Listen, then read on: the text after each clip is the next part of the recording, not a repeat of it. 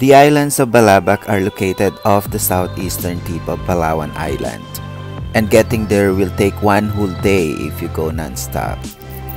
These remote islands are located far south of the Palawan Peninsula that Sabah and Malaysia is nearer and visible to the naked eye from Balabac than Puerto Princesa. In fact, due to its close proximity to Malaysia, the locals here also speaks the Malay as their second language.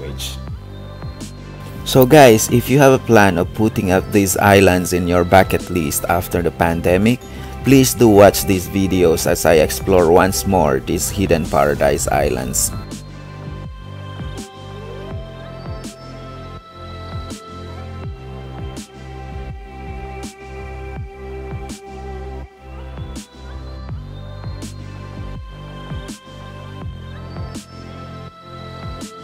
But before this mga katropa, please don't forget to click on the subscribe button and hit on the bell notification so you'll get notified on each of my new posts.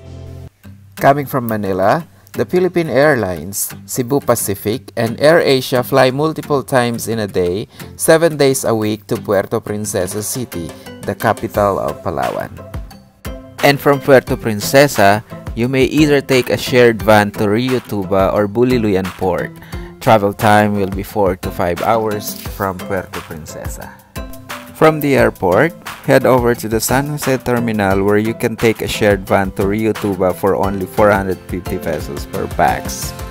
Alternately, you may contact the persons below to arrange for van transport pickup from the airport or any place around the city to Rio Tuba for 450 pesos per head as well. And oh, by the way, be aware that cutoff time for boat transfer from Rio Tuba to Balabac is 10 a.m. So consider arriving an hour before. But in case you miss the boat trip to Balabac, don't worry mga katropa because there are a number of lodging houses in Rio Tuba to stay with. Alternately, you may choose another point of entry to Balabac at the Buliluyan port. This port has closer proximity to the islands in Balabac and will significantly reduce your island hopping time. Kuya Matet Sanson offers direct transfer from Puerto Princesa to Buliluyan Port.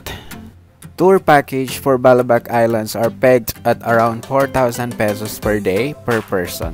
This is already inclusive of meals, but mostly not of the entrance to the privately owned Onuk Island. Meanwhile, here are some of the list of boat and package tour operators you may contact in case you decided to go through that adventure of your lifetime.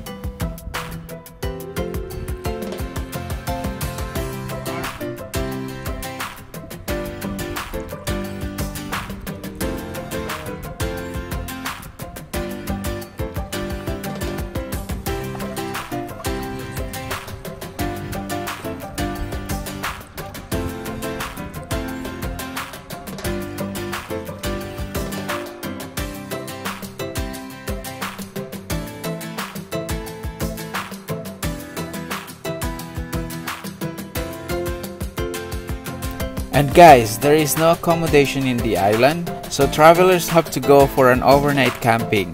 So I strongly advise to bring your own tent or hammock in case the tour operators don't have available at hand